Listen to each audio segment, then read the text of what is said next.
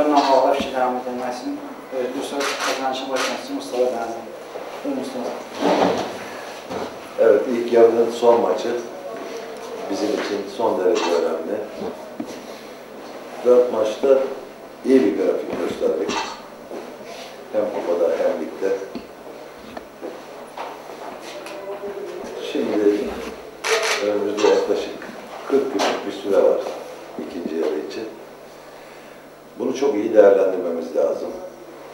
Diğer maçlar ne oldu, ne bitti bilmiyoruz. Ama bizim hedefimiz yukarı grupta olan, üstteki grupta olan puan farkını azaltmak. 17 puandı başladığımız zaman bu grupta farkımız. Bu hafta sonunda ne olur, kaç puan fark olur bilmiyorum.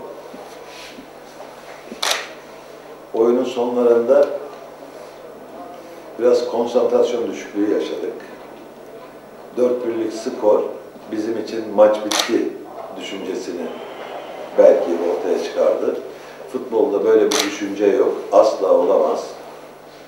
Buna hiç kimse tevessül etmemesi lazım. Böyle düşünmemesi lazım. 4-1'den sonra yediğimiz goller ancak çocukça yapılabilecek hatalardan şey. Bu, bu takım bu hataları yapmayacak. Bu takımda bu hataları yapanlar kendilerini bir kez daha gözden geçirecek, kendi durumlarını kontrol edecek.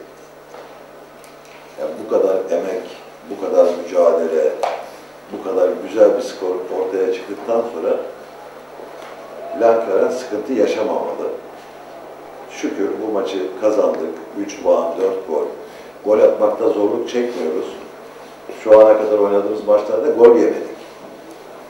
E Şimdi Sungay'dan yediğimiz 3 gol bizim için önemli. Ama bütün bunların yanında ligi galibiyetle kapatmak da çok önemli. Hatalar olacak, hatalar olacak ama bu tür hatalar bizim yapacağımız hatalar değil. Onun için yani bu maçı ilk yarının son maçı olarak değerlendirdiğimiz zaman puan açısından iyi, pozisyon açısından iyi, zamanda oynadığımız futbol açısından çok iyi. Ama o futbolun içine e, bu hatalar yakışmadı. Bunu devre arasında gidereceğiz. İkinci yarıya çok daha umutla,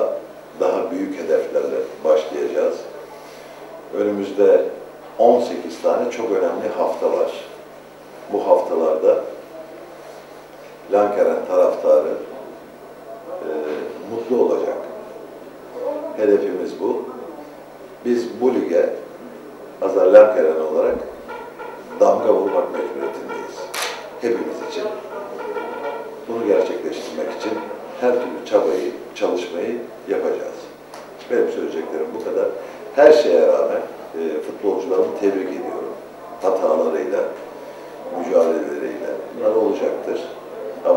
Puan kaybı yaşasaydık yani herhalde tatili falan da iptal edecektim. Yani izin dahi vermeyecektim. Yarın antrenman ve devam. Bu üç puan onların tatilini